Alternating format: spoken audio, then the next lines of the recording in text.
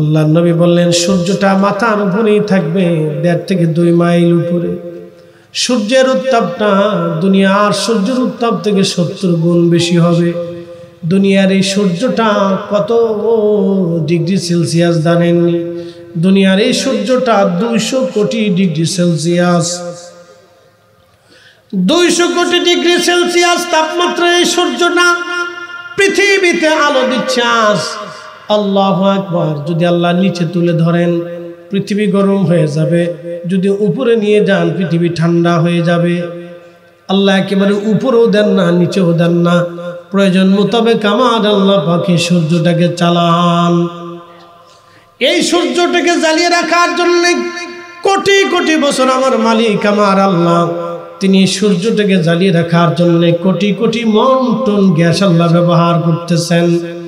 এই সূর্যটাকে জ্বালায় রাখলেন, সূর্যের আলো যদি পৃথিবীতে না আসতো, তাহলে এই আলো না আসার কারণে পৃথিবী অন্ধকারে নিমজ্জিত হয়ে যাইত। এই সূর্য তরু লতা বতা গাছ জনমানবহীন হয়ে যাইত। পৃথিবীতে কোনো অস্তিত্ব, জীবের অস্তিত্ব থাকতো না। এই সূর্যের আলো দিয়ে পৃথিবীতে জীবের অস্তিত্ব বানানো হয়। নবী বললেন, সাহাবিরা, তোমরা জানো সূর্য কোথায় যায়?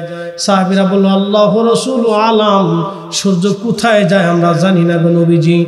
আল্লাহ নবী বলেন, সূর্য যেতে যেতে যেতে যেতে, আর সে আল্লাহর নিচে যায় সূর্য আল্লাহকে সেজদা দেয়। একবার জোরে বলা যাবে আল্লাহ আকবার।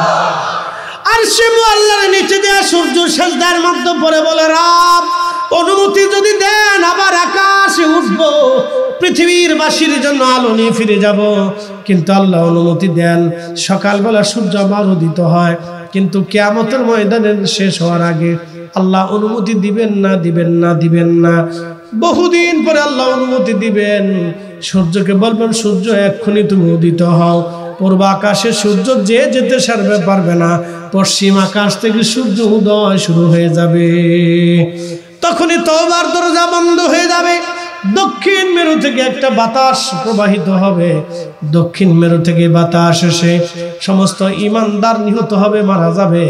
ইমানদারদের অস্তিত্ব থাকবে না। পৃথিবী একেবারে ধ্বংসের দ্বার প্রান্তে আসবে। এটা হলো আলামতে কুবরা।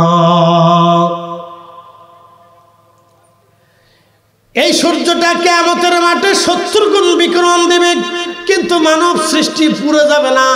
এই বিকরণটা এতই ভয়াবহ হবে, ভিতর থেকে জ্বলতে থাকবে, বাহির থেকেও জ্বলতে থাকবে, এতই প্রচণ্ড গরমে ঘাম নির্গত হয়ে থুতনি পর্যন্ত, নাভি পর্যন্ত ঘামে ভরে যাবে। আল্লাহ আকবার। সেই দিন মানুষের জিব্বা বের হয়ে যাবে। হাউজে কাউসারের পানি ছাড়া আর কোনো পানি হবে না। আল্লাহর আরশেম আল্লাহর ছায়া ছাড়া আর কোনো ছায়া থাকবে না সেই দিন। কত বড় ভয়াবহ, কত কঠিন। আম্মা যেন আয়সাকে নবী বলতেছিলেন আয়সারে কেয়ামতটা এতই ভয়াবহ হবে যে একজন আরেকজনের দিকে তাকানোর সময় হবে না। আম্মা জান আয়সা নবীজি বললেন, কেয়ামতে সবাই উলঙ্গ থাকবে। আম্মা জান আয়সা বলেন হুজুর নারী পুরুষরাও কি উলঙ্গ থাকবে? অথচ একজন আরেকজনকে দেখবে। নবী বললেন আয়সা রে, কোন নারী পুরুষের দিকে, কোন পুরুষ নারীর দিকে তাকানোর মতো সময় হবে না। সেদিন এত বড় কঠিন,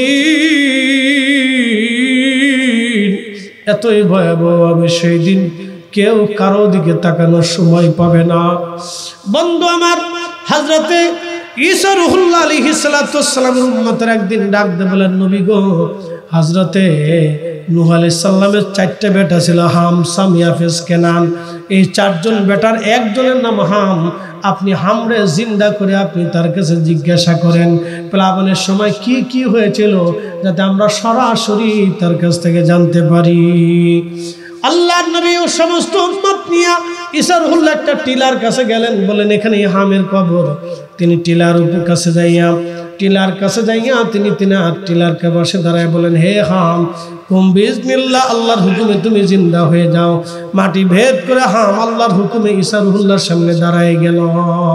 একবার জোরে বলা যাবে কি আল্লাহ আকবার। আল্লাহ নবী ঈসা ডাকতে বলতেছে হামরে আমি জানি তোমার এন্তেকালের সময় চুলদারি ছিল কাঁচা, কিন্তু তোমার সাদা হয়ে গেল কোনো চুলদারি। তুমি কি বলবা, তোমার চুলদারি কেন সাদা হয়ে গেল? হাম ডাক দে বলতে আল্লাহ নবী, আপনি যখন আমাকে ডাক দেন, তখন আমি মনে করলাম কেমন বুঝি কায়েম হয়ে গেছে। কিয়ামতের কঠিন ভয়াবহতার কথা চিন্তা করে আমার চুল সাদা চুল, কালো চুলগুলি সাদা হয়ে গেছে। এই চুলগুলি আমার বয়সের কারণে পেকে যায় নাই। কেয়ামতের ভয়াবহতার চিন্তা আমার চুল পেকে গেছে। চিন্তা করেন তারা কেয়ামতের দিনটাকে কেমন করে ভয় করত। অথচ আমার দেশে রমজান মাস আসলে যারা পণ্য সামগ্রীর দাম বাড়ায় দেয়, দুইশো টাকার খেজুর তিনশো টাকা যারা বানায় দেয় আল্লাহ নবী বললেন, সাহাবিরা এই সাপটা তার কামড় দিবি। একটা কামড় দিয়ে দিয়ে মুখের গোস্তগুলি তুলে নিয়ে আসবি। আবার গোস্ত হবে, আবার কামড়াবে। ওই সাপের বিষ এতই কঠিন। একবার কামড়ে চল্লিশ বছর ধরে, চল্লিশ বছর ধরে, চল্লিশ বছর ধরে একটা কামড়ে চল্লিশ বছর ধরে বিষের ক্রিয়া চলতে থাকবে। এক কামড়ে চল্লিশ বছর ধরে বিষের ক্রিয়া চলবে। কতদিন কামড়াবি? প্রিয় নবী বলতেছেন, এত পরিমাণে দিন হবে, তার জল ইলাইহি 50 আলফা দুনিয়ায় পঞ্চাশ হাজার বছর এক জায়গা করলে যত বড়, হাসরের একটা দিন হবে তত বড়। নবীজি বলতেছেন, এই বান্দাদেরকে আল্লাহ পাক একটা সাইড করে হাসরের মতো একটা আলাদা জায়গা করে দিবে। তাদেরকে তাদের সাপগুলি কামড়াইতে থাকবে। এইদিকে আমার আল্লাহ তাদের দিকে ভ্রুক্ষেপ দেবে না। আল্লাহ সমস্ত ফেরেশতাদেরকে ডাক দেবে, তোমরা হিসাব বুঝাই যাও। আজরাইল, জিব্রাইল, মিকাইল, ইসরাফিল, মালেক কেরামান কাতিবিনান মুনকার নাকিরা রুমান সৃষ্টির মধ্যে বিলিয়ন ট্রিলিয়ন অগণিত অসংখ্য ফেরিস্তাগুলি আল্লাহর সামনে এসে যার যার হিসাবগুলি বুঝাই দিতে থাকবে। এবার বুঝেন তো কোটি কোটি ট্রিলিয়ন বিলিয়ন কোটি, কত কোটি ফেরেস্তা আমি হিসাব বলতে পারব না, দুনিয়ার মানুষ বলতে পারবে না। সমস্ত ফ্রেস্তারা আল্লাহর দরবারে হিসাব টানবে, সবার হিসাব শেষ হয়ে যাবে। আল্লাহ জিন জাতির হিসাব টান দিবে। কোটি কোটি জিন, এই মানব জাতি পাঠানোর কোটি কোটি বছর আগে আল্লাহ জিন জাতি পাঠাইছিলেন। এই জিনদের বয়স কিন্তু কোটি কোটি বছর ধরে চলতেছে। কেয়ামত পর্যন্ত যত জিন আসবে, সমস্ত জিনদেরকে আল্লাহ ডাক দেবে, হায়াত তোমাদের হিসাব বুঝাই দিয়ে যাও। কোন জিনের বয়স ষাট হাজার বছর, কোন জিনের বয়স পঞ্চাশ হাজার বছর। জিনদের সাথে কারও সাক্ষাৎ হয়েছে কিনা জানি না, যদি হয়ে থাকে তাহলে বুঝবেন। কোন জিনদের বয়স পাঁচ হাজার বছর, কোন জিনের বয়স দশ হাজার বছর, কোন জিনের বয়স পনেরো হাজার বছর, কোন জিনের বয়স আট হাজার বছর। জিনদের হায়াত কিন্তু অনেক বড় বড় লম্বা। এই লম্বা জীবনের হায়াতের হিসাব জিনের আল্লাহর সামনে দিতে থাকবে। সমস্ত জিন তাদের হিসাব আল্লাহ নিয়ে নিবে। তারপরও আল্লাহ ওই তাদের দিকে তাকাবে না। ততদিন আল্লাহর ওই সাপ তাদেরকে কামড়াইতে থাকবে। এইভাবে লক্ষ লক্ষ বছর পার হয়ে যাবে। আল্লাহ কত ভয়াবহরা যদি বুঝতো, দুনিয়ায় গরিব মানুষের চোখের পানি ঝরাইতো না। কি কথা বলে ঠিক না বেঠে। ওরা যদি বুঝতো তো গরিবের চোখের পানি ওরা ঝরাইতো না। খুব মনোযোগ দিয়ে শুনিয়া যান। এরপরে আল্লাহ মানব জাতির ডাক দেবে, কোটি কোটি মানব জাতি আদম সফিউল্লাহ থেকে কেয়ামত পর্যন্ত সবার হিসাব টানা হবে। আল্লাহ ততদিনও তাদের দিকে ভ্রুক্ষেপ দিবে না। এরপরে পশু পাখির আল্লাহ ডাক দিবে, বলে, হুজুর, পশু পাখিরও কি হিসাব হবে? হা, আপনাদের মিঠাখালী উত্তর পাড়া এই উত্তর পাড়া যেহেতু আছে, তাহলে দক্ষিণ পাড়াও আছে। দক্ষিণ থাকলে পূর্ব, পশ্চিম পাড়াও আছে। এই মিঠাখালীর উত্তর পাড়ার গরু, দক্ষিণ পাড়ার গরুরও মারছিল ওই গরুটা কেমতের ময়দানে বিচার দিবে আল্লাহ। মিত্তর মিঠাখালীর মাঠবাড়িয়ার থানার এই গরু আমার মারছিল আল্লাহ। ওই গুণের হিসাব আমি চাই, আমি তার বিচার চাই। আল্লাহ ডাকতে বলবে, তোমার যেমনি গুতাইছিল, মারছিল, তুমি সামনে তারে মেরে দাও। গরু ডাকতে বলবে, মালিক, আমি আমার মালিকের বাড়ি কাজ করতাম। আমার মালিক আমার লাঠি দিয়ে পিটাইছিল, মারছিল। আল্লাহ, আমি মালিকের বিচার চাই। আল্লাহ ডাক দিবে, তোমরে যেমনি পিটাইছিল, তুমি অমনে কায়দা মতো গুতাই দাও। সেই দিন আল্লাহ পাক মানব জাতিরও গরুর গুতাই খাওয়াইয়া হিসাব পোষাই দিবে। আল্লাহ বলে আব্দুল্লাহ ইবনে মুবারক রাহমাতুল্লাহ বলেন, একদিন আমি কাবায় উপস্থিত হলাম বাইতুল্লাহতে হারাম শরীফে। উপস্থিত হওয়ার পরে সারা মক্কার জমিনে দুর্ভিক্ষ নেমে গেল, বৃষ্টি নাই। মক্কায় মানুষ উপস্থিত হয়ে হারাম ধরে ধরে কাঁদে। হেরে মে খুদার ঘর ধরে ধরে কাঁদে, আল্লাহ বৃষ্টি দাও, কিন্তু বৃষ্টি হয় না। বৃষ্টির অভাবে তুফান লেগে গেল সারা মক্কায়। আমি একদিন হাতিমে কাবা থেকে দূরে যাইয়া চুপচাপ বসে আছি। দেখি মক্কাবাসী আজকে করেটা কি? আমি চুপচাপ বসে আছি। এমন সময় দেখি একটা লোক আসছে, নিগ্রো কালো। নিগ্রো? কথা কন না, নিগ্রো কালো। নিগ্রো কালো, তার জুব্বা খুব পছন্দে বানানো মোটা। জাগায় জাগায় সিরা জাগায় জাগায় তালি দেওয়া। নিগ্রো কালো, জাগায় জাগায় তালি দেওয়া, জাগায় জাগায় সিনা আবদুল্লাহ ইবনে মোবারক রহমাতুল্লাহি বলতেছেন, দুনিয়ার মানুষে, এই নিগ্র কালো লোকটারে দেখলাম তার একটা চাদর ছিল যে চাদরটাও জায়গায় জায়গায় সিরা তালি দেওয়া। চুল দাড়িগুলি এলোমেলো, একেবারে নিগ্র কালো। আমার অদূরে বসে, আমি যেখানে বসে আছি সেখান থেকে একটু দূরে বসে। চাদরটা মাথার উপরে দিয়া আল্লাহর দরবারে হাত বাড়াই দিয়া কেঁদে কেঁদে বলে, মালিক, এতদিন তোমার বান্দা আসে নাই। আজকে তোমার এই বান্দা তোমার দরবারে উপস্থিত হয়েছে আল্লাহ। রব্বুল আলমিন, আমি জানি গুনার কারণে তুমি বৃষ্টি দাও না আল্লাহ। আমি তোমার দাস, আমি তোমার গোলাম, তোমার দরবারে হাত বাড়াইছি। বৃষ্টি যদি না দাও, এই বান্দা আজকে হেরেম থেকে যাবে না। আল্লাহ বাইজিদ বুস্তামি রহমাতুল্লাহ পরের দিন চলে গেলেন সে নারীর সামনে। ওই পতিতা নারীর সামনে যা বলেন, হে মহিলা, বলো তোমার রাতের ভিজিট কত? লোকেরা চিন্তা করে হাই হাই সর্বনাশ। বাইজিদ বুস্তামি রহমতুল্লাহ শেষ পর্যন্ত এই সুন্দরী নারীর সৌন্দর্য মোহিত হয়ে গেল। বাইজিদ কি পাগল হয়ে গেল রে? সবার চিন্তা বাইজিদ বুঝি পাগল হয়ে গেছে। এই সুন্দরী নারীর প্রেমে মনে আকৃষ্ট হয়ে গেছে। সবাই বাইজিদকে সন্দেহ করতে লাগল। কিন্তু আল্লাহ রলি যে কথা বললেন, ও মহিলা বলো রাতের বিজিট তোমার কত বলে, এত দেড়হাম। বলে, এত দেড়হাম দিলে কি তুমি আমার সারা রাত্র আমার জন্য হবে? আমি যা বলব তুমি কি তাই শুনবে? বলে হ্যাঁ। পকেট থেকে, থলে থেকে টাকাগুলো বের করে দিয়ে বলেন, যাও, সারা রাত্রের বাজেট তোমাকে দিয়ে দিলাম। এবার তুমি আমার সঙ্গে চলো। বলে, কোথায় আমার হুজরায়? আল্লাহর অলি বাইজিদ সামনে হেঁটে যায় প্রতিটা নারী বাইজিদের পিছে পিছে হেঁটে যায়। শহরের মানুষ দাঁড়ায় দাঁড়ায় দেখে বাইজিদ পাগল হয়ে গেল। সবার একই চিন্তা, বাইজিদ বুঝি পথভ্রষ্ট হয়ে গেছে রে। বাইজিদ বুঝি নারীর প্রতি আকৃষ্ট হয়ে গেছে। আহা, বাইজিদ বুস্তামি রহমতুল্লাহ তাকে খুজরাতে নিয়ে যাইয়া ওই মহিলাকে বলেন, মা রে তোমারে আমি আমার কাম খায়েশ পূরণ করার জন্য এখানে কিনে আনি নাই।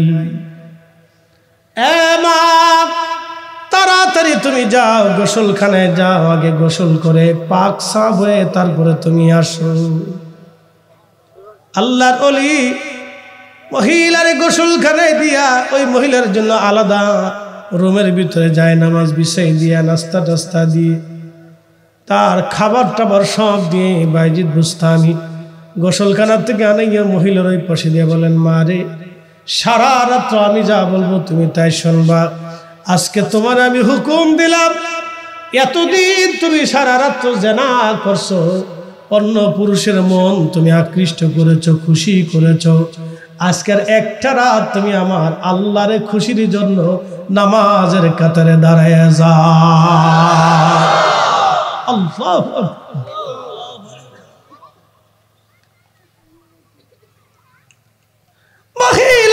যাই নামাজে, নামাজের কাতারে নামাজ পড়ে। বাইজিৎ বস্তাবি হুজরার ভিতরে এসে শ্রদ্ধার মধ্যে বলে বলে মালিক, আমি বাইজিদের দায়িত্ব ছিল এই মহিলাকে প্রতি তালায় থেকে আনিয়া যাই নামাজে বসাই দেবা আমার দায়িত্ব যাই নামাজে বসাই দিলাম। মন পরিবর্তন করার দায়িত্ব আমার না। মন পরিবর্তন করার দায়িত্ব তোমার এই ক্ষমতা আমার নাই, ক্ষমতা তোমার। আল্লাহ প্রতিটা নারীর মন পরিবর্তন করিয়া আল্লাহ তুমি তারে তোমার অলি বানায় নাও। আল্লাহর অলি ভাই যে দোয়া করে, দোয়া করতে দেরি হয়, আসমানে দোয়া কবুল হতে দেরি হয় নাই। সাথে সাথে মহিলা শেষদার মধ্যে পড়িয়া চিন্তা করে, আল্লাহ, জীবনে অনেক অপরাধ করলাম আর না তবা করলাম আর কোনোদিন জেনা, পতিতা বৃত্তি আর কোনোদিন করব না। আল্লাহ রব্বুল আলমিন বলেন ইমানদার আমি আল্লাহ তোমাকে বলতেছি, সম্পদের মোহে পড়ে, সম্পদের প্রেমে পড়ে সন্তানের প্রেমে পড়ে, আমি আল্লাহর জিকির থেকে তুমি গাফেল হয়েও না। আমি আল্লাহর জিকির থেকে তুমি গাফেল হয়েও না। আমি আল্লাহর জিকির থেকে তুমি গাফেল হয়েও না। যদি হাইয়া ফাল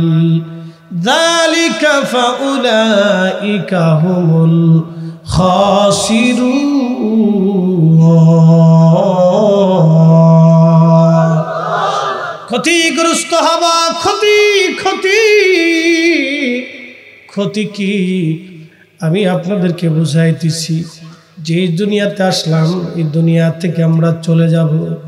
কবর দেশে চলে যাব, কবরের ময়দানে চলে যাব, কবর দেশে চলে যাব। এটা একটা জগৎ। এই জগতের নাম হচ্ছে আলমে বারজাত। কবরের জগৎ, রুহের জগৎ। আমরা সবাই জগতে চলে যাব। একটা জগতে ছিলাম সেটার নাম আলমে আরোহা, রুহের জগৎ। রুহের জগৎ থেকে আল্লাহ পাক আমাকে রেহেমের জগতের ভিতরে নিয়ে আসলেন। এই রেহেমের জগতে আল্লাহ পাক আমার স্ট্রাকচার বডি তৈরি করলেন। সুম্মা জালা কোরআন বলতেছে, সুম্মা জালা নাসলাহু। আমি আল্লাহ এরপরে মানব জাতির বংশ বিস্তার করলাম। মিং সুলালাতিম মিম্মা ইম্মাহিন আল্লাহর কথা কত সুস্পষ্ট। মানব শরীর থেকে নির্গত একটু পানি। মানব শরীর থেকে নির্গত একটু পানি। নারীদের থেকে বক্ষের ভিতরে, পুরুষের থেকে পৃষ্ঠদেশে এই মানব শরীর থেকে নির্গত একটু পানি, যেটা বের হলে দুর্গন্ধ বের হয়।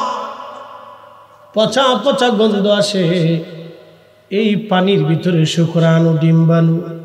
এটা রেহেমের জগতে আল্লাহ পাক নিয়ে গেলেন। বিশেষ প্রক্রিয়া বৈধ পদ্ধতি বৈবাহিক বন্ধনের মাধ্যমে। আমার মালিক, আমার আল্লাহ মায়ের রেহেমের ভিতরে নিয়ে যাইয়া আমার বডি, আমার স্ট্রাকচার আল্লাহ তৈরি করতে লাগলেন।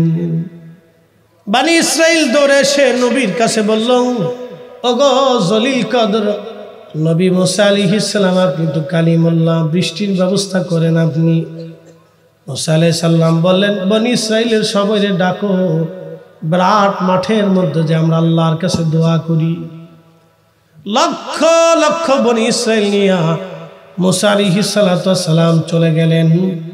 বিরাট বড় প্রান্তরের মধ্যে যাইয়া আল্লাহর দরবারে হাত বাড়াইছে। আল্লাহ গো বৃষ্টি দাও। বৃষ্টি তো হলোই না, আকাশে টুকিটাকি মেঘ যা ছিল পরিষ্কার হইয়া আরও গরম পড়া শুরু হয়ে গেল।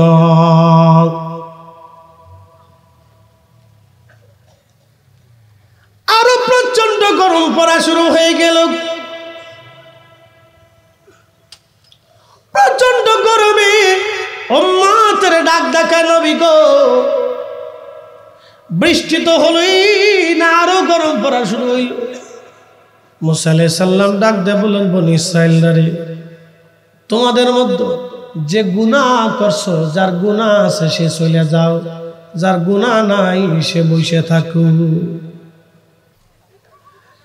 হাজরাতে মুসা সালাম দেখলেন, ময়দানের এক কোণে এক অন্ধ চুপচাপ বসে রয়েছে। আল্লাহর পয়গম্বর ডাক দে বলতেছে অন্ধ কানা তুমি কি শোনো নাই? একটা গুণাজার আছে তাকে চলে যেতে বলছি। তুমি অন্ধ কেন? ময়দানের এক কোনায় বসে আছো কারণ কি? অন্ধ ডাক দে "হুজুর, জীবনে গুণা করছি আমার মনে পড়ে না। একশত চিৎকার মেরে জোরে বলেন আল্লাহ আকবার। কোরআন বলতেছে, ইন্নামাল মুমিনুনা আল্লাযীনা ইযা যুকিরাল্লাহু ওয়াজিলাত কুলুবুহুম। হযরত মুসা আলাইহিস সালাম ডাক দে বলে, কানা অন্ধরে, তুই কেন প্রান্তরের এক পাশে বসে আছিস? তুই কি জানিস না? একটা গুণাও যা আসছে চলে যেতে বলছি। তুই অন্ধ কেন? এই মাঠের এক কোনায় বসে আছো অন্ধ। অন্ধ ডাক দেখায় নবী গো, জীবনে মনে পড়ে না একটা গুণা করছি। তবে একটা ভুল করছিলাম, যদি গুণা হয় আমি চলে যাব। আর গুণা যদি না হয় আমি বসে থাকব। কি ভুল করছিলি হুজুর সদর রাস্তা দিয়ে আমি হেঁটে যাচ্ছি। রাস্তার পাশে একটা বাড়ি ছিল। এই বাড়ির সদর দরজা খোলা ছিল। ও নারী সমাজ, কথাগুলি ভালো করে শুনে যান। এজন্য আমাদের বুজুর্গি কেন হয় না জানেননি? আমাদের বুজুর্গি হয় না অনেক কারণে। আমাদের খাবারের ভিতরে ভেজাল, আমাদের চোখের মধ্যে ভেজাল। আমাদের চাল চলনে ভেজাল। ঠিক কিনা? খুবই মনোযোগ দিয়ে কথাগুলি শুনে যাবেন। আমি যেখানে ছিলাম সেখানে ফিরে চলে যাই। মুসা আলী ইসলাম ডাক দে বললেন, আল্লাহর বান্দারে, কি ভুল তুমি করছ বলো। আল্লাহর বান্দা ডাক দেখে, নবী গো। ও নবীজি, আমি সদর রাস্তা দিয়ে হেঁটে যাওয়ার সময় একটা সুন্দর বাড়ি, তার সদর দরওয়াজাটা খোলা ছিল। এই দরজাটা যখন খোলা, আমার চোখটা ওই দরজা বরাবর চলে গেল আর অন্দরমহল পর্যন্ত চোখ চলে গেল। অন্দরমহল এক বেগানা নারী। আপনার তো বুঝেনি, যার যার বাড়ি ঘরে নারীরা তাদের স্থানে অবস্থানে থাকতে পারে। আমার এই চোখটা ওই বেগানা নারীর প্রতি পড়ে গেল। তখনই আমি আমার চোখটাকে ঘুরাইয়া চোখটাকে বললাম, চোখ রে, তুই আজকে আমার এক বেগানা নারীর দিকে ঘুরাই নিয়ে গেলি। আজকে আর তোরে আস্ত রাখব না। এই বলি আমি আমার চোখরে শাস্তি দেওয়ার জন্য আমি আমার চোখটাকে নষ্ট করে ফেললাম। হুজুর, আমি আজকে অন্ধ। আমি অন্ধ এমনি হই নাই, ওই গুণার থেকে বাঁচার জন্য। আমি আমার নিজের চোখরে অন্ধ বানাই দিছি। নবী গো, যদি অন্যায় হয় গুণা হয়, আমিও চলে যাব। মুসালি সালাম ডাক দেখায়, না রে আল্লাহর বান্দা, তুমি নিজে পাপ থেকে বাঁচার জন্য এত বড় তবা করছ, এত বড় নিজের সংশোধন করছ। আজকে তুমি হাত বাড়াও, তুমি দোয়া না করলে বৃষ্টি হবে না। আল্লাহ ইমাম জৌজি বলেন, ওই অন্ধ লোকটা আল্লাহর দরবারে হাত বাড়াই দেখ, আল্লাহ আজকে বৃষ্টি দাও। বৃষ্টি ছাড়া তোমারে বান্দা যাবে না। আল্লাহর আকাশে মেঘ জমে গেল, অঝর দ্বারায় তুফান আকারে জমিনে বৃষ্টি নামা শুরু হয়ে গেল। একবার জোরে বলা যাবে কি আল্লাহ একবার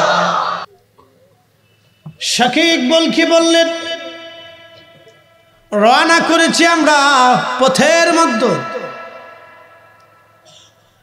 যেতে যেতে বহুদূর কাদেশিয়া নামক একটা এলাকা ছিল কাদেশিয়া ইরাকের কাদেশিয়া এই কাদেশিয়াতে যাওয়ার পরে আমাদের কাফেলা বিশ্রামের জন্য তাবু গাল্লাম তাবু গাড়ার পরে আমি কাফেলার মধ্যে তাবু গাড়ার পরে আমি দেখলাম এই কাফেলার ভিতরে একটা সুন্দর নুরানি চেহারার যুবক দেখা যায়। চেহারা খুবই চমৎকার, নুরানি। খুবই সুন্দর নুরানি চেহারার যুবক।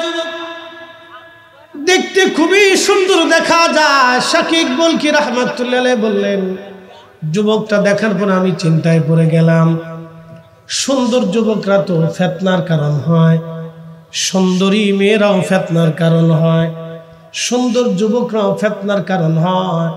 এই যুবকটি এত সুন্দর এত সুন্দর নুরানি চেহারা আমি কোনো দিন দেখি নাই। এতই চমৎকার সৌন্দর্য তার। আমি মুগ্ধ হয়ে গেলাম, চিন্তা করলাম, আমি যুবকটাকে একটু নসিহত করে আসি। যাতে সে ভুলেও কখনো খারাপ কাজে লিপ্ত না হয়ে যায়। আমি এই যুবকটাকে নসিহত করার জন্য কাছে গেলাম। কাছে যাওয়ার সঙ্গে সঙ্গে আমি তার সালাম দিলাম। সালাম দেওয়ার সঙ্গে সঙ্গে উত্তর দিয়ে যুবক আমাকে ডাক দিয়ে বলল, হে ইবনে শাকিক বলকি আপনি কি কোরআনের সে আয়াত আপনি পড়েন না? আল্লাহ বলছেন, কোনো কোনো ধারণা মিথ্যা হয়। শাকিক বলকে বলেন, আমি আশ্চর্য হয়ে গেলাম। বলে কি, আমি অন্তরের মধ্যে কি চিন্তা করলাম? এই যুবক কি করে বুঝতে পারল? একসাথে বলবেন, আল্লাহ আকবার। এই যুবকটা কি করে বুঝতে পারল? আমার অন্তরের হালতটা কি করে সে জানতে পারল? আমি আশ্চর্য হলাম। এরপরে আমি কিছুক্ষণ পরে তার হারিয়ে ফেললাম, আর দেখলাম না। আবার কয়েকদিন পরে কাফেলা আমার বিশ্রামের জন্য বসল। এমন সময় দেখি রাতের আধারে তার তাবুর পাশে দাঁড়ায় দাঁড়ায় সে নামাজ পড়ে। তার কোরআন তেলাওয়াত এতই মধুর ছিল।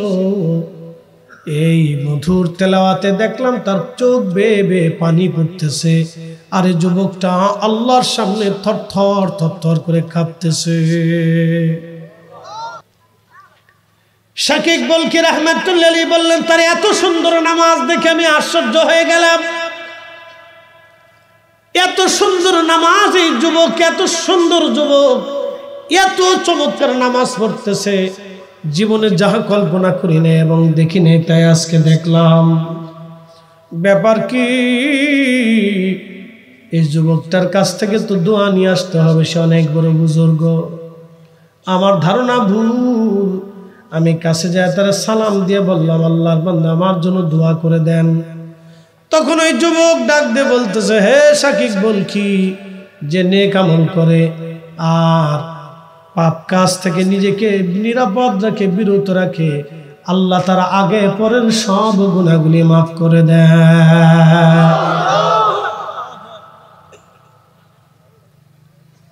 আবার সে হারিয়ে গেল। কিছুদিন পরে দেখি সে একটা কুয়ার পাশে দাঁড়িয়ে। কুয়ার ভিতর থেকে তার হাতের একটা পানির মশক ছিল পেয়ালা। কাঠের তৈরি পেয়ালা দিয়ে পানি উঠানোর চেষ্টা করতেছে। এমন সময় হাত থেকে কাঠের পেয়ালাটা পরে কুয়ার মধ্যে পড়ে গেল। আমি দূর থেকে দাঁড়ায় দাঁড়ায় গোপনে তাকে পর্যবেক্ষণ করি, দেখি করে কি আজ। দুই দিন তো তার বুজুর্গে দেখলাম, আজকে বুজুর্গটা দেখব। সে কি করে? আমি লক্ষ্য করলাম যুবকটা ওই কুয়ার পাশে দাঁড়াইয়া আল্লাহর দরবারে হাত বাড়াই দিয়া বলে, হে রব, আল্লাহ, আমি অধমের পানির পিপাসা লাগলে তুমি তো পানি পাঠাও ক্ষুদা লাগলে তুমি তো খাবার পাঠাও। আল্লাহ, আজকে কাঠের পেয়ালাটা কুয়ার মধ্যে পড়ে গেছে মালিক, তুমি আমার পেয়ালাটা তাড়াতাড়ি ফেরত দিয়ে দাও। মাঠবাড়িয়ার মুসলমান খুবই মনোযোগ দিয়া শুনিয়া যান। শাকিক বলকি রহমাতুল্লাহ বলেন, পরের তারিখ। ওই দিন আবার তারা হারাই ফেললাম। পরের তারিখ আমি লক্ষ্য করলাম, মরুভূমির ভিতরে আমাদের তাবু গাড়া হলো। তাবু গাড়ার পরে, বিশ্রাম করার পরে আমি দেখলাম, সে মরুভূমির দিকে হেঁটে হেঁটে যায়। আমি চিন্তা করলাম, বহুদিন পরে আবার পাইলাম। দেখি সে কোথায় যায়। এবার লক্ষ্য করলাম সে মরুভূমির দিকে হেঁটে যায় কিছু দূর যাওয়ার পরে। তার থলের মধ্যে যে মশক ছিল, এই মশকখানার থেকে পানি, ওই যেই কাঠের পেয়ালা ছিল, ওই কাঠের পেয়ালার মধ্যে পানি ঢাললো। আর কিছু মরুভূমির বালুগুলি নিয়া এই বালুগুলি পেয়ালার মধ্যে, কাঠের বাসনের মধ্যে ছেড়ে দিয়া পানির মধ্যে এই বালুগুলি গুলাইতে লাগল।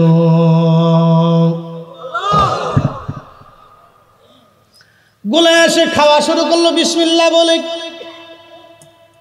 বলে, আমি আরও আশ্চর্য হলাম, বালি কেমনে খায় মানুষ?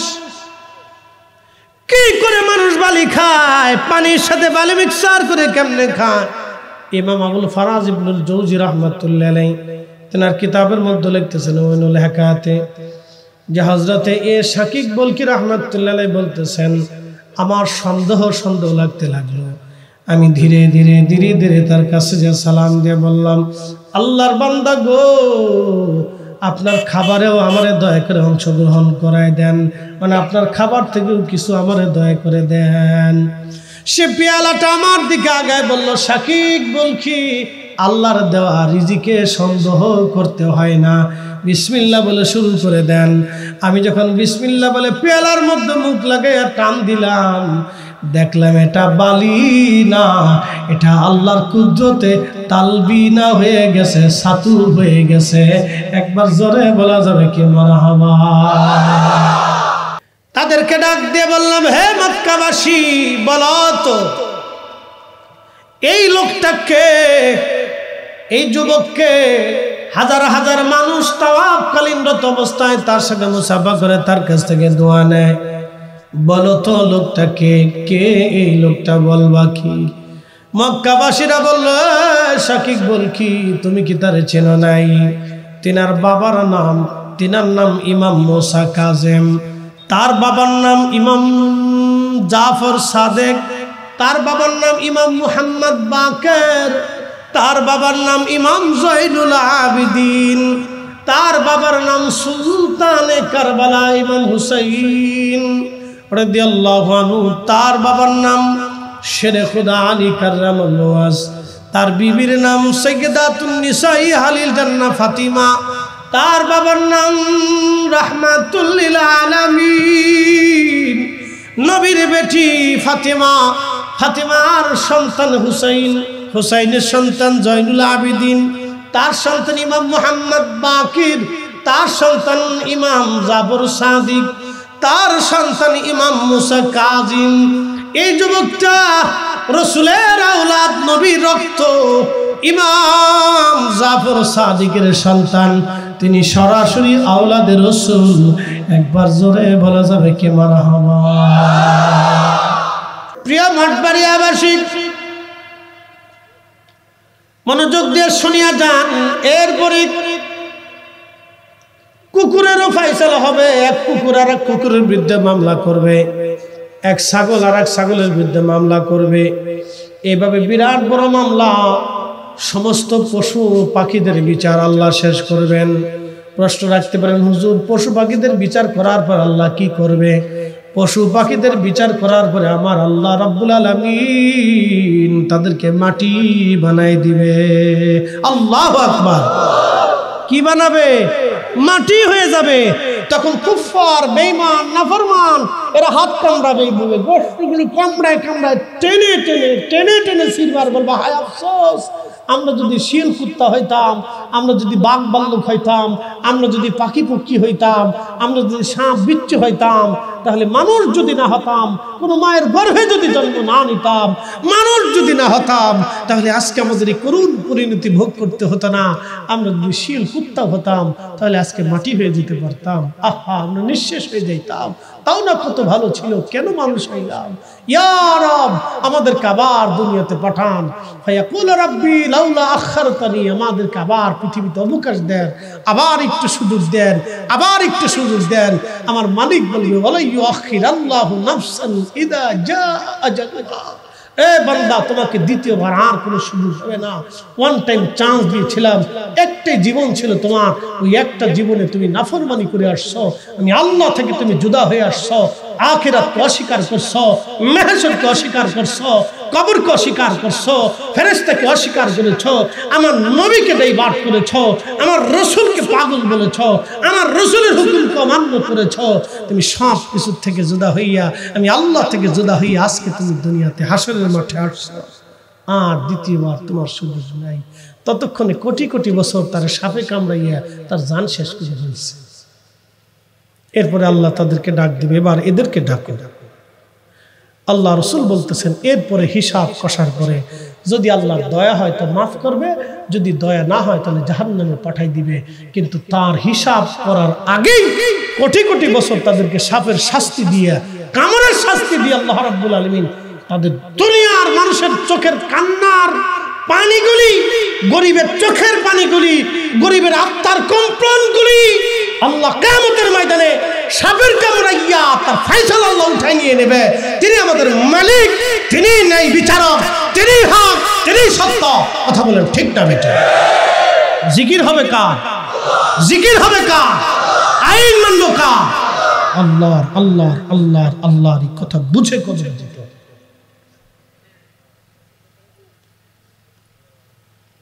যে ভাইগুলি ওয়াজ দিছে, ওয়াজ যে কাজে লাগে, বোঝা যাইতেছে তো ইনশাল্লাহ আমার কথা যদি দশজন ব্যক্তি বুঝে কবরে যায়, কেউ না বুঝলেও আমও বুঝে যদি কবরে যেতে পারি, তা আমারও লাভ আছে, আপনাদেরও লাভ আছে। কথা ঠিক কিনা?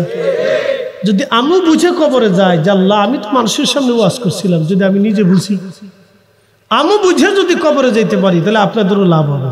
যে আপনাদের কারণে হয়তো তা আমার বুঝ আসছে। তাহলে ওয়াজ মাহফিল বেসার্থক হয় এটা সার্থক হবে এটা দিবেন। এখানে এক টাকা দিলে আপনার টাকা নষ্ট হবে না বন্ধু। টাকা নষ্ট হবে না। জীবনে এই হাতের রুজি, এই হাতের রুজি, কত রুজি, রুটি মাটির সাথে মিশে যাবে। আহা, এখানের একশো বছরের আগের কবর আজকে মিসমার হয়ে গেছে। কবরের পাশে দাঁড়ানোর কেউ নাই। একদিন মাটির ভিতরে হবে ঘরে মন আমার কেন বান্ধ দালান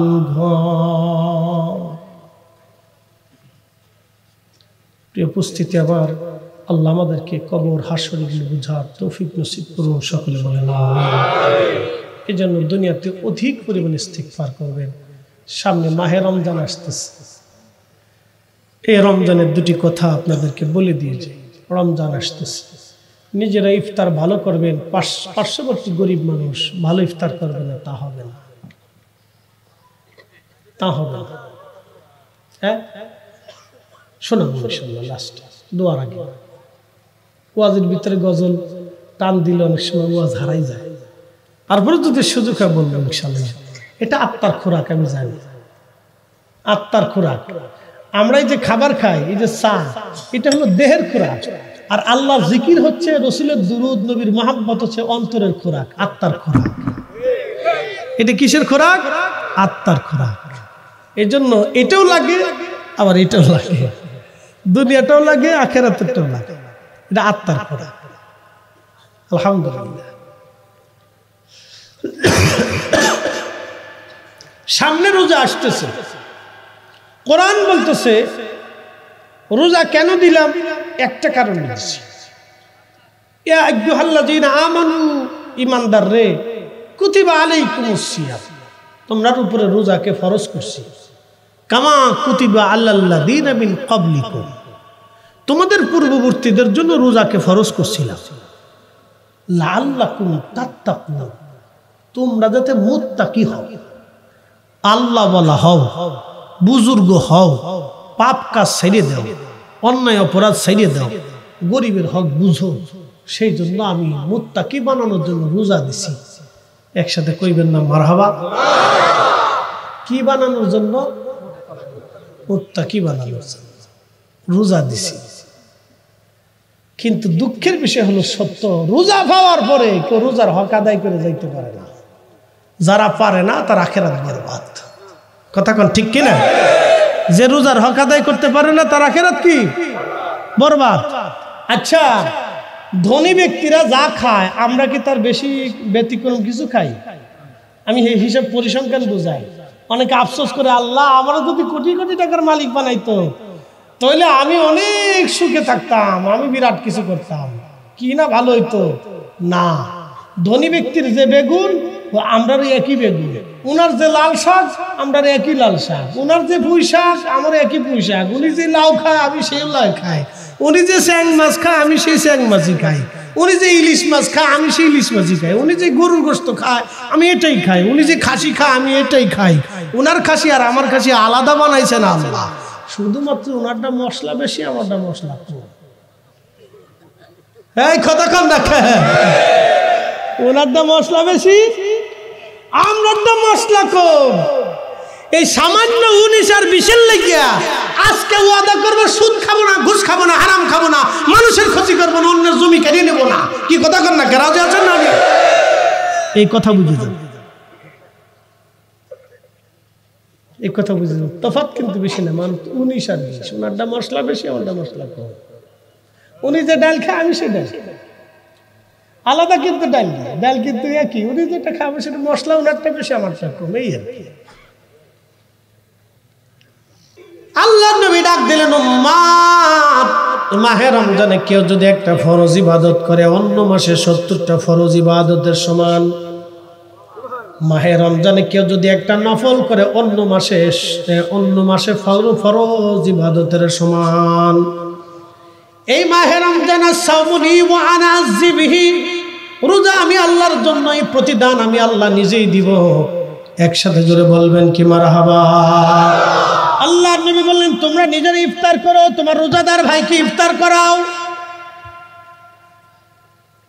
যদি সম্ভব হয়, এক পেলা দুধ দিয়ে, নাহলে একটা খেজুর দিন এক পেলা পানি দিয়ে, সাহাবি বলেন হুজুর, আমাদের অনেকের সামর্থ্য নাই। দুধ পান করাবো সামর্থ্য নাই, নবী বলেন খেজুর দিয়ে করাও। বলেন খেজুর খাওয়ানোর সামর্থ্য নাই। কল্পনা করতে পারছেন, একটা খেজুর দিয়ে ইফতার করাবে, এই সামর্থ্য অনেকে ছিল না ছিল। কিন্তু তারা রোজা ছাড়ে নাই। আর আমরা একটুতেই রোজা ছেড়ে দিই। কথা ঠিক কিনা? না, কষ্ট হইতেছে আপনাদের? দুই ঘণ্টা কিন্তু হয়ে গেছে। হ্যাঁ? আর দশ মিনিট দিবেন ইনশাল্লাহ? দুর্বল লাগছে আপনার বুঝছি তাবারকের গিরান নাকে লাগছে? এই আর দুইটা দিন অপেক্ষা করেন পরে দিন থাকাই আপনারা এই আর দুইটা দিন। কিন্তু আফসোস এই দুই দিনের ভিতরে অনেক মানুষ কবরে চলে যাবে বাবা। রমজান নসিবে হবে না। কি কথা কন না কেন? রমজান নসিবে দুই দিন অনেকে কবরে চলে যাবে? আহা। আল্লাহ নবী বলেন উম্মত রে,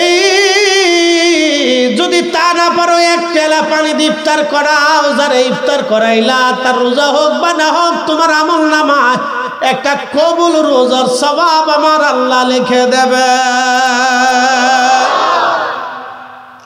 আর যদি তুমি রোজাদারকে পেট পুরে তৃপ্তি সহকারে তুমি খাওয়াও, নবীজি বললেন হাউজে কাউসারের পানি তোমারে পান করাবো কেমতের ময়দানে। এক পেলা পানি যে পান করবে, জান্নাত যাওয়ার আগ পর্যন্ত পানির পিপাসা তার আর আসবে না। রোজাদারকে কেউ যদি তৃপ্তি সহকারে খাওয়ায়, আল্লাহ হাউজের কাউসারে সেই দিন তারে পানি পান করে, তার তৃষ্ণা নিবারণ করে দেবে। তাহলে রোজাদারদেরকে খাওয়াবেন নি আপনারা? বলেন ইনশাল্লাহ আর জোরে বলেন। নিজেরা বাড়িতে ইফতার করার সময় আশেপাশে গ্রামের ভিতরে হত দরিদ্র কেউ থাকলে তারাও ডাকিয়া তার ঘরে ইফতার পৌঁছাবে। অনেক মুরব্বী, বাবাজি, মা, চাচি, খালা, ফুফুরা আছে। যার সন্তান, নাতি রুটি রুজি কম আছে। তাদের ঘরে ইফতার পৌঁছাবে। পৌঁছাবে বাবাজি, সামান্য কিছু অর্থ আল্লাহর পথে ব্যয় করবে। মাহে রমজানে সবাই একটু ভালো খাইতে মন চায়। আপনার একটু ভালো খাওয়াটা যদি তাদের একটু বরাদ্দতে আসে, রমজান ইফতার করার পরে সে সন্তুষ্ট আল্লাহর কাছে দোয়া করবে, আল্লাহ, আমার জন্য তোমার বান্দাতা একটু রুটি রুজির ব্যবস্থা করছে, তুমি তার জন্য আরও বেশি করে বরাদ্দ করবে রসুল করিম সাল্লাহ সাল্লাম ফরমান, উম্মাত্রে তোমরা যখন মানুষের জন্য খাবার বরাদ্দ করো, আল্লাহ তোমার জন্য তার চাইতে সাতশো গুণ পর্যন্ত রিজিককে বরাদ্দ করে দেয়। এই জন্য মানুষকে খাওয়াইলে রিজিক কমে না, দিবে। আপনাদের দেশে মসজিদে মসজিদে ইফতার হয় কি না? করবেন খুব ভালো। করবেন, ইফতার খাওয়াবেন বেশি বেশি করে খাওয়াবেন ভালো বলে ইফতার আপনারা দিবেন। আবার ল্যাংটা খিচুড়ি দিয়ে দিন অনেকে চিন্তা করে নাম কাস্তে দিয়ে দিতে বলি সারে। দেই না একটা দিল্লি সারে। লেটকা ফেটকা এটা সেটা জিনিস দিয়ে দেয় না, একটু ভালো করে দেওয়ার চেষ্টা করবেন। বাবাজি রোজাদার ইফতার করেন। রোজাদারের সাথে আল্লাহর একটা প্রেম হয়। কেমন প্রেম হয়? বুঝাইতেছি। শেষ আমার ওয়াজ, আর কথা বাড়াবো না। রোজাদার যখন রোজার ইফতার সামনে নিয়ে খাবারগুলি সামনে নিয়ে লাড়াচাড়া করে পানি সামনে আছে কিন্তু পান করে না, খাবার সামনে আছে, খায় না, লাড়াচাড়া করে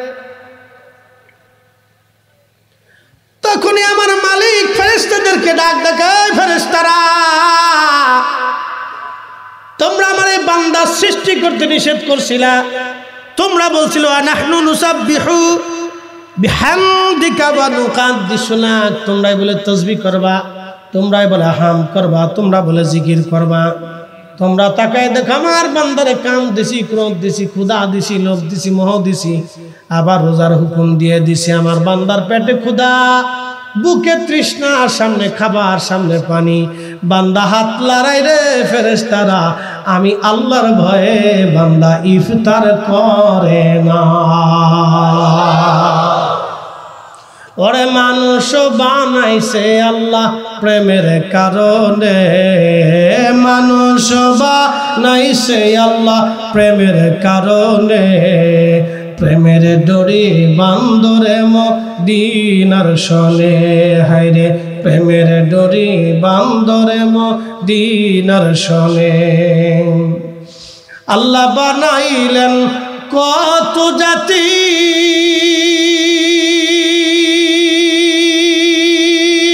হইল না তার প্রেম প্রীতি। আল্লাহ বানাইলেন কত জাতি হইল না তার প্রেম প্রীতি? অবশেষে মানুষ বানায়, অবশেষে মানুষ বানায় প্রেমের কারণে।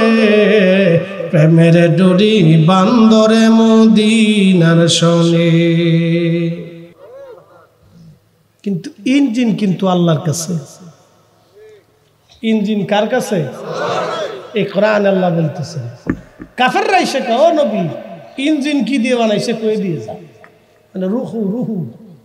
এ রুহু বানাইছে কি দিয়ে? আপনি বলেন। প্রশ্ন করার পরে নবীজি আল্লাহ ওহি নাজিল করে বলেন ওয়াস আলুনাকা রূহ। ও নবী, আপনাকে মুশরিকরা রূহ সম্পর্কে প্রশ্ন করে। আপনি বলে দেন কুলির রূহ মিন আমরি রব্বি। এটা আল্লাহর একটা হুকুম মাত্র। আল্লাহ না না, হয় না, আরও জোরে বলে কার হুকুম? কার হুকুমে আসছি? চলে যাব কার হুকুমে? কার কাছে? মাঝখানে যে সময়টা, সেটা আল্লাহর জন্য ব্যয় করতে হবে। কথা কর না কেন? কার জন্যে? কার জন্যে? আমার জিন্দিগি, জীবন, হায়াত নৌত স্ত্রী, পুত্র, পরিজন, সহায় সম্পদ সব কিছু হবে আল্লাহর জন্য। আল্লাহর জন্য।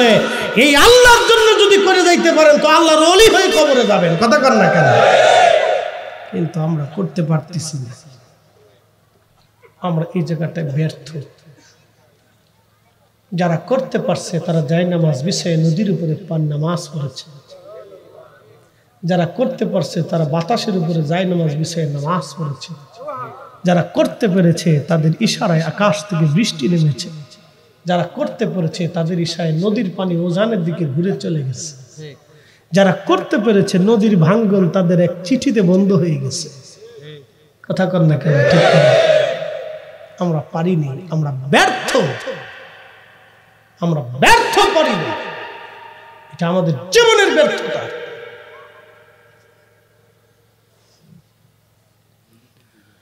মাঠবাড়িয়ার মুসলমান, খুবই মনোযোগ রুহু ইঞ্জিন আল্লাহর কাছে। এই ইঞ্জিন আল্লাহ পাক ছয় মাস পরিপূর্ণ বডি তৈরি হতে মায়ের পেটে সময় লাগে, সর্বনিম্ন ছয় মাস। এবং আল্লাহ সর্বোচ্চ সময় নেন দশ মাস, দশ দিন। মায়ের রেহেমের ভিতরে।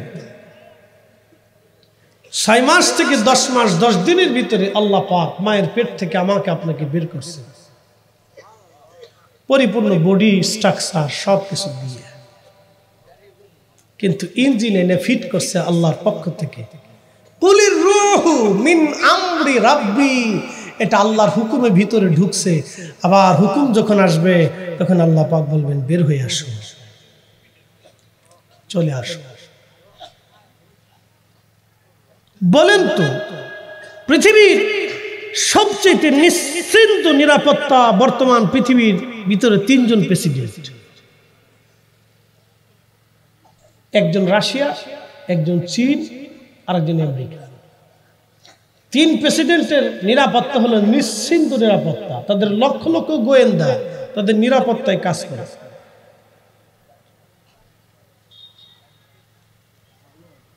কিন্তু বলেন তো, আজরাইল থেকে নিরাপত্তা দেওয়ার কোনো ব্যবস্থা আছে? একসাথে বলেন, আছে? জোরে বলেন, হবে? কারও দ্বারা সম্ভব হবে? কারণ কোরআন বলছে এটা। পৃথিবীর কোন যন্ত্র কখনোই আবিষ্কার করতে পারবে না কারণ কোরআন সাড়ে চোদ্দশো বছর আগে বলে দিয়েছে قل إن الموت الذي تفرون منه فإنه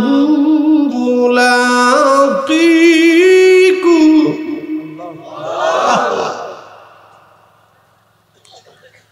قل হুজুর আপনি বলে দেন إن الموت الذي تفرون منه فإنه ملاقيكم আমার বান্দারা মৃত্যু থেকে পালায় মরণ থেকে আমার বান্দারা পালায় নবীজি বলে দেন এই মরণ থেকে আমার বান্দা যতই পালাক না কেন মরণ তার সাথে মোলাকাত করবে এই মৃত্যু তার সাথে দেখা করবে। এই মৃত্যু তাকে নিয়ে চলে আসবে। মরণ থেকে পালানোর কোনো রাস্তা নাই। কথা বলেন ঠিক কিনা? এই জন্য মৃত্যু থেকে বেঁচে থাকার কোনো ওষুধ, কোনো টিকা, কোনো যন্ত্র, কোনো বিজ্ঞান কোনোদিন আবিষ্কার করতে পারবে না, কারণ কোরআন যেটা বলছে এটি ঠিক।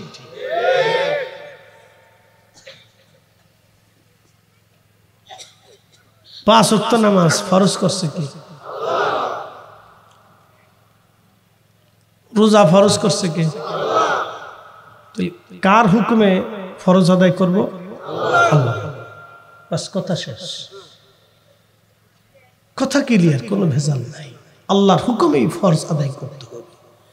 আল্লাহর হুকুমে আমাকে রোজা আদায় করতে হবে। আল্লাহর হুকুমে আমাকে হালাল ও হারামকে বেছে বেছে চলতে হবে। আল্লাহর হুকুমে এখানে বাহিরের আর কোনো হুকুমের দরকার নাই। উনি হুকুম দিছেন উনি আমাকে দুনিয়াতে পাঠাইছেন উনি দুনিয়াতে পাঠাই আমাদেরকে জিজ্ঞেস করছেন কি জিজ্ঞেস করলেন? আল্লাহ কোরআন এইভাবে বলতেছে।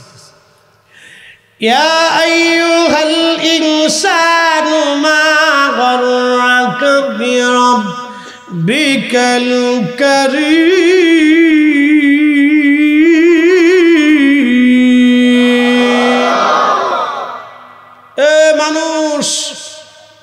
তোমাকে কিসে আমি আল্লাহ থেকে জুদা করে দিল?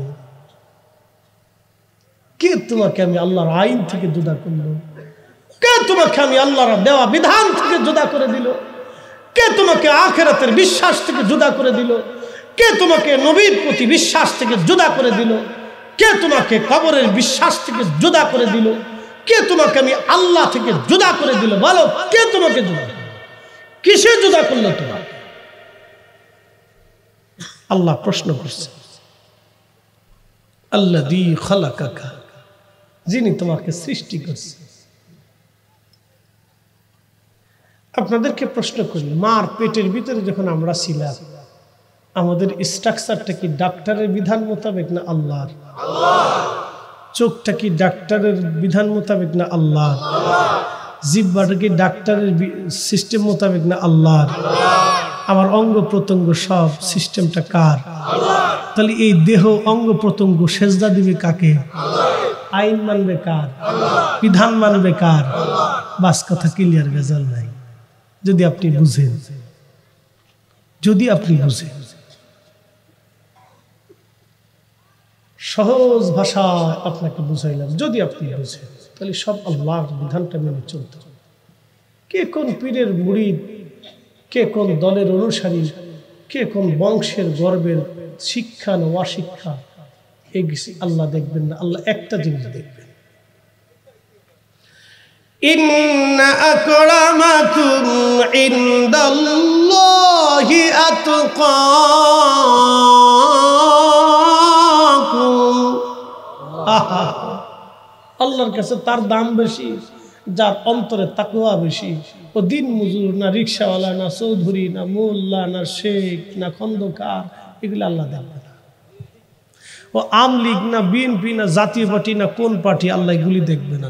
যার অন্তরে তাকুয়া বেশি, তার দাম আল্লাহর দরবারে বেশি, না হাজার কোটি টাকার মালিক, না সারাদিন পরিশ্রম করে তিনশো টাকা রুজি করে তার এইগুলি আল্লাহ দেখবে না। আল্লাহ দেখবে তার চেহারা ভালো না খারাপ এইগুলি আল্লাহ দেখবে না। সে প্রিন্সিপাল না ডক্টর না ডাক্তার না চ্যান্সেলর না বের বিজ্ঞানী, না চিকিৎসা বিজ্ঞানী, না অর্থনীতি সাইকুল হাদিস, না মুফতি, না বক্তা, আল্লাহ এগুলি কিচ্ছু দেখবে না। আল্লাহ দেখবে তার অন্তরে আমি আল্লাহর ভয় আছে কিনা? যার অন্তরে আল্লাহর ভয় বেশি, তার দাম আল্লাহর কাছে বেশি। কথা কন না ঠিক কিনা? এক বাক্যের কথা আল্লাহ ক্লিয়ার করে দিচ্ছে এখন একটা ঘটনা শুনে। মোসা আলাইসাল্লামের জমানায় বৃষ্টি হয় না। বহুদিন। কিছু সময় দেওয়া যাবে না ইনশাল্লাহ কেবল ফোন এক ঘণ্টা হইছে। আর তো দুই চার ঘণ্টা চলবো। ডরাই গেছে কিন্তু হুজুর আজকে আজকে শেষ করে দিছে। বলেন না ইনশাল্লাহ সারা রাত্র বলেন ইনশাল্লাহ থাকা লাগবে না কিন্তু নেকি হয়ে গেছে। আর নেকি হয়েছে তো আবার চলে যায় না। বাঙালির তো খুব চালা বিরাট চালাকের চালা এ দেখলে সারা ওই কিছুদিন আগে বেশ কয়েক বছর আগে খুব বড় একটা ভূমিকম্প হয়েছে ধাক্কা ধাক্কি বেশি হয়েছে। তো ঢাকাতেও ধাক্কা ধাক্কিটা বেশি। তো ফজর রাখতে মুসল্লি পুরা সাপ টাপ দিয়ে আমার মসজিদের তিনতলা, চারতলা সব ভরে গেল। তা আমি চিন্তা করি, ব্যাপার কি? ফজর রক্ত তো ঢাকায় এত মুসল্লি হয় না। ফজর রক্ত মুসল্লি আসে না অনেকগুলি কারণে। কারণ বাড়িওয়ালা যারা থাকে, তাদের প্রতি আবার এই দুষ্টদের টার্গেট থাকে। কেউ হিরণসিরা চুরি টুরি মারতে পারে, কপ্টপ দিতে পারে। এরা আবার আসে না ভয়ের নিরাপত্তার ব্যাপার স্যাপার আছে। তো এই জন্য ফজর রক্তে মুসল্লি ঢাকাতে এমনিতে কম হয়। তো ওই দিন পুরা মুসল্লি যে একবারে সাত টাত দিয়ে সব পাকায় পাকায় ভরা। জিজ্ঞেস করি, ব্যাপার কি? আজকে এত মুসল্লি ফজর রাখতে কারণ কেউ যে আপনি ধাক্কাইছে ঘুমাইতে পারি না। জোরে রক্তে যায় দেখি যা পাই আগের মতো আর নাই। হলো বাঙালি। আমরা এমন সুবিধা বাদ আমি মাঝে মধ্যে চিন্তা করি, আল্লাহ, এরা কিয়ামতের ময়দানেও কি সুযোগ সুযোগ তালাশ করবে কিনা আল্লাহ যা কোন সিস্টেম টিস্টেম আছে কিনা দেখি আল্লাহ মানুষ ছাড়াও পৃথিবীতে চার লক্ষ প্রজাতির জীব আছে, বিজ্ঞানের গবেষণা। জিনদের সাথে আল্লাহর প্রেম হয় নাই, যদি হইতো, তাহলে জিনদের ভিতরে খাজা বাবা আজমিরি থাকতো। জিনদের ভিতরে শাহজালাল ইয়ামনি মুজারিদি থাকতো। জিনদের ভিতরে হজরত আবু বকর সিদ্দিক ফুরফরাবি থাকতো। জিনদের ভিতরে শাহসবি ফাতে আলী রসুলের নামা থাকতো। জিনদের ভিতরে হজরত নূর মোহাম্মদ নিজামপুরি থাকতো। জিনদের ভিতরে মুজাদ্দিদ আল ফেসানি সেরহেন্দি থাকতো। জিনদের ভিতরে শাহবাদুল্লাহ মহাদ্দিস দেহলবি থাকতো। জিনদের সাথে আল্লাহর প্রেম হয় নাই। আল্লাহর প্রেম ভালোবাসা হয়েছে মানব জাতির সাথে। কথা বলেন ঠিক যখন খাবার ইফতার সময় লড়ায়, আল্লাহ অহংকার করে আমার বান্দাদেরকে সৃষ্টি করতে তোরা নিষেধ করছিলি। দেখ আমার বান্দা এখন খায় না। আমি আল্লাহকে কতটা ভয় করতেছে। যা, আমার বান্দা যত গুণা করছে, সব গুণাকে আমি আল্লাহ মাফ করে দিই কি বুঝলেন আপনারা? তাহলে নিজেরা ইফতার করবেন, অন্য রোজাদারকে ইফতার করাবে আল্লাহ তৌফিক দিক বলে না আমি ইমান এহতিসাবের সাথে যারা মাহে রমজানের রোজা রাখবে, বলে ইমান এহতিসাবের সাথে কীভাবে রোজা রাখে? রোজা রাখবেন, মিথ্যা বলা যাবে রোজা রাখবেন, ফায়সা কথা বলা যাবে রোজা রাখবেন, গিবত শেখাত করা যাবে না। রোজা রাখবেন, ওই আপনার মানুষের ক্ষতি করা যাবে না। রোজা রাখবেন, ফরনারীর দিকে ওই কুনজরে তাকানো যাবে না। রোজা রাখবেন এই আপনার, কি বলে, অন্তরের ভিতরে বাজে আবিজাবি চিন্তা করা যাবে না। রোজা রাখবেন, আপনাকে এই পরিশুদ্ধ মতো যদি রাখতে পারেন, তাহলে রোজা কামিয়াব হবে। এই ইমাম হিসাবের সাথে যারা রোজা রাখবে এবং রাত জেগে জেগে তারাবির নামাজ পড়বে, কয় রাকাত? আট টাকাত না বিশ টাকাত জোরে জোরে জোরে জোরে জোরে জোরে জোরে, আরও জোরে। আমি এত দলিল দেবো না, দলিল আমার কাছে বহুত আছে, আমার ঘরে একবারে কয়েক দশ লক্ষ টাকার গীতা আছে। আমি এত দলিল দেবো না। শুধু একটু বুঝাই দিয়ে যাই। এদেশে ইসলাম শাহজালাল রহমতুল্লাহ আগেও অনেক অলিরা আনছিলেন, কিন্তু এত ব্যাপকভাবে রাষ্ট্রীয় পর্যায়ে প্রতিষ্ঠিত হয়নি। তিনি সুলতানুল আউলিয়া, তিনি প্রতিষ্ঠিত করছেন। অ্যাটেনশন প্লিজ সাড়ে সাতশো বছর ধরে ইসলাম আছে। সাড়ে সাতশো বছর আগে যদি উনি আট টাকা তারাবি পড়াইতেন এদেশে সাড়ে সাতশো বছর ধরে কোটি কোটি মুসলমান আট টাকা দিয়ে পড়ত কথা কর না কেন? উনি বিশ টাকা পড়িয়েছেন বিধায়, এদেশের কোটি কোটি মুসলমান বিশ টাকা দিয়ে তারাবি পড়তেছে অনেকে বলবে, শাহজালাল কি দলিল? আরে বেটা, ইসলাম এদেশে উনি কাঁধে করে নিয়ে আসছে। কালেমার পতাকা উনার কাঁধে করে এদেশে আসছে। উনি প্রতিষ্ঠিত করেছে।